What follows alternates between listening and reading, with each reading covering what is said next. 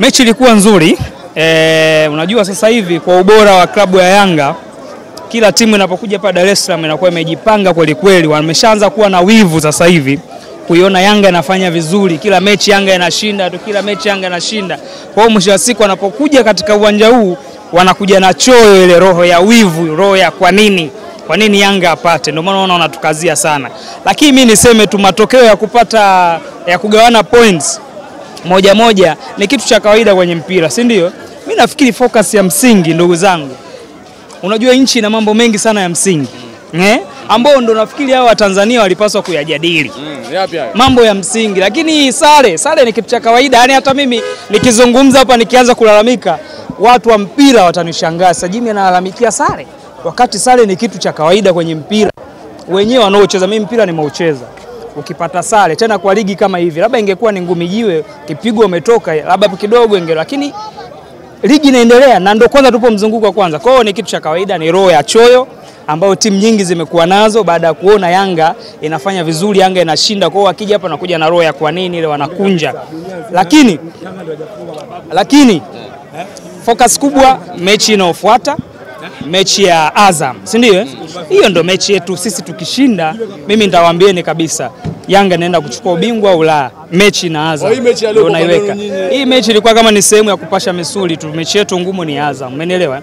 Lakini ndo kama nilivyokuwa nawaambia Watanzania wanatakiwa, inapotokea big issue ndo natakiwa tuijadili, tusipende kujadili matokeo haya ya kawaida. Big issue hiyo ni? Sikilizeni, big issue ni kwamba kuna wenzetu wanataka kutapeliwa, si kama mmenielewa?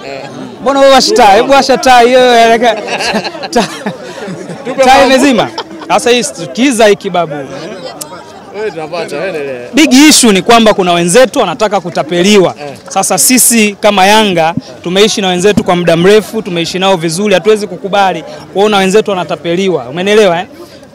Haiwezekani katika klabu kama hizi kubwa mtu akwambia anaendesha timu kwa hasara. Mimi hiyo nakataa. Kwa hiyo hapo Mohamed hapo anatengeneza mazingira ya kuwatapeli wenzetu. Umenielewa eh? Kwa nini nasema hivyo? hizi timu ndugu yangu, chukua mashabiki milioni moja sawa eh? Katika hao mashabiki milioni moja, kila shabiki ndani ya msimu, yani kwa maana msimu mzima atoe shilingi elfu ishirini. Chukua wale ambao ni kindakindaki tayari wana bilioni ishirini wao wenyewe bila kutegemea mwekezaji, lakini chukua kila shabiki atoe shilingi elfu moja sawa, wana bilioni ngapi? Wana bilioni moja, si ndio? Kwa mashabiki milioni moja.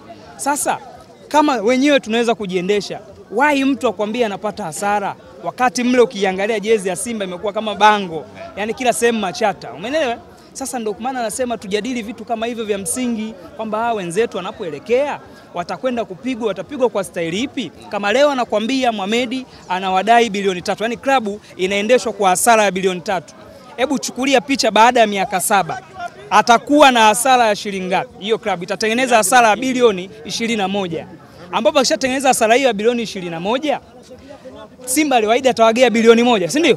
Kwa hiyo ukichukua bilioni eh, sorry bilioni ishirini ukichukua ishirini na moja ukitoa ishirini tayari anakwambia nilishawapa ishirini na bado nawadai moja. Kwa maana hiyo atakuwa hajawahi kuweka kitu, lakini amewahi kuweka mikopo ya bilioni ishirini na moja. Kwa hivyo ndo vitu ambavyo natakiwa tujadili, lakini tuangalie hata namna hii ni elimu sasa tunawapa na wenzetu, kwa sababu inaweza kuta hawashabiki hawa- hawafuatilii kwa sababu timu inapata matokeo, lakini watakiwa wafuatilie. Hebu angalia namna ambavyo huu mchakato umekwenda, si ndio? eh? Huu mchakato unavyotakiwa, kwanza natakiwa muitishe ile, ile mnapofanya transformation lazima muitishe mkutano mkuu, na kikanuni, kikatiba, mkutano mkuu lazima uitishwe na viongozi ambao ni halali waliochaguliwa. Umenielewa eh? Kwa baada ya kuitisha ule mkutano mkuu, ndo wao walitakiwa sasa waamue bwana, eh, sisi tunakwenda kwenye mabadiliko. Mabadiliko gani? Tunakwenda mabadiliko ya hisa ya asilimia 51 kama serikali inavyosema na asilimia 49. Baada ya kuamua hivyo baada ya kuamua hivyo, wewe usitake tu mambo ya Yanga. Hii ni elimu. Mambo ya Yanga, Yanga sishatoka sare, unataka wakujue nini tena? Hii tunatoa elimu. Baada ya kufanya hayo mabadiliko, ndio mnakwenda kwenye mchakato sasa wa kisheria wa serikali, mnaihusisha kwamba bwana, sisi tumekubali kufunga ndoa, huyu ana asilimia 49, huyu ana asilimia 51. Je, hii ndoa yetu tukifunga itakuwa na athari? Baada ya kishajua hii na athari, ndio waende, si ndio? Lakini sasa wao mchakato haujaisha Yaani mnatakiwa FCC mwapelekee memorandum of understanding, waelewe mchakato wenu ukoje. Tayari nyie mmeshachagua mmeshamteua CEO. Maanake kumteua CEO manake nyinyi mchakato mshaunganisha, mshatengeneza kampuni moja na tayari na viongozi. Hivi wewe nikuulize swali, katika asilimia 51 na 49 ipi nyinyi?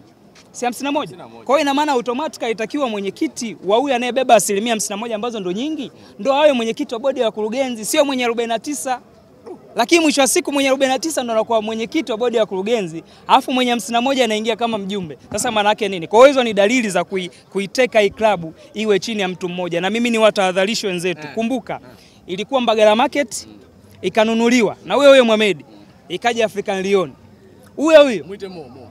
Mohamed ikamshinda, si ndio? Akaenda si Singida United zikamshinda. Kama kweli angekuwa na pesa, kama kweli angekuwa na uwezo wa kuwekeza kwenye mpira, nafikiri tungeanza kuona matokeo mazuri kule, lakini kama imemshinda huko, wenzetu waangalie. Bilioni ishirini kama wana shida nazo, kama ni kweli wanahitaji uwekezaji ule wa kweli, wakifata sheria ile kweli kweli, sisi tuko tayari kuwasaidia. Mashabiki wao wa Simba wanasema sisi haijalishi kuwekewa bilioni 20 ama vipi.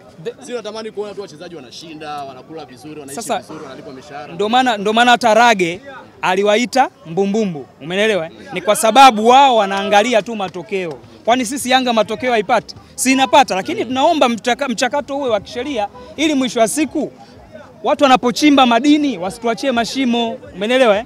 Hiyo ndo akili unatakiwa mtu ufikirie. Kama mtu akwambia tu nataka ushindi, nataka ushindi, mbona hata timu zingine zinashinda, si ndio? Mimi nakueleza kama hawana hiyo bilioni ishirini Mohamed, sisi tuko tayari. Unajua si wakala wa VIPB pesa ipo, si ndio? eh? Tuna uwezo, nimekutajia hesabu ndogo, watu mashabiki milioni moja tuna uwezo wa kuwachangia na ikapatikana bilioni ishirini. Wakishindwa basi bosi wetu JSM yupo, mzigo si yupo, atawasaidia. Vinginevyo ndugu zetu watakwenda, tunaweza tukawasaidia, sababu sisi nataka mpira uliokuwa uliokuwa wenye ushindani tunaweza tukawasaidia. Tumemsaidia Haji Manara, itakuwa itakuwa hao kwao, tunaweza kuwasaidia. Kuhusu haya matokeo, tumeona wenzetu hawa e, Namungo wao walikwenda Zanzibar, umenielewa eh? Walienda Zanzibar, lakini wamehostiwa na wenzetu wa upande wa pili. Ndio haya tunaowasema, unatumia nguvu kumhosti mtu alafu wewe mwenyewe kwako unaharibikiwa. Waache choyo.